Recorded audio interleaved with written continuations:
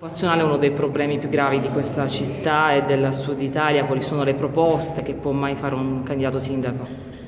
Oggi parliamo di contratti di programma rispetto ai quali vogliamo avere e pretendiamo di avere un ruolo attivo. Parliamo di investimenti sul nostro territorio da parte della Regione Puglia a supporto di progetti per un ammontare di 180 milioni di euro rispetto ai quali la Regione Puglia eh, finanzia, cofinanzia nella misura di 50 milioni di euro. Sono cifre importanti e tanto più che questo potrà avere una ricaduta in termini occupazionali garantendo nuovi posti di lavoro per 250-300 posti.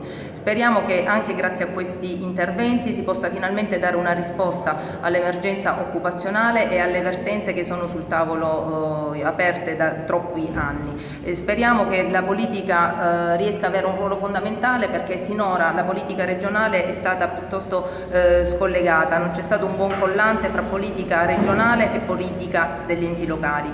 Se da un lato infatti la Regione si impegna che ci garantisce questa, questa, importante forma di finanziamento, dall'altro eh, torna a discutere ancora una volta il tavolo delle vertenze aperte da tantissimo tempo. È il momento di eh, fare in modo che politica regionale e politica locale possano eh, trovare di comune accordo le soluzioni ai problemi del nostro territorio. Qualora lei dovesse vincere però non sarete in linea con il governo regionale, almeno stando così le cose, quindi vuole fare un appello?